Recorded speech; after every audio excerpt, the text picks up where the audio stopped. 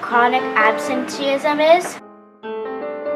Chronic absenteeism is when you're sick for 18 or more days in a school year.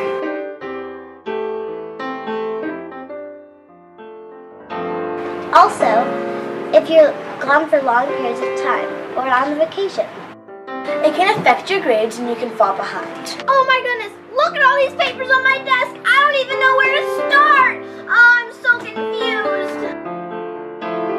Whether or not you're on vacation Love this show.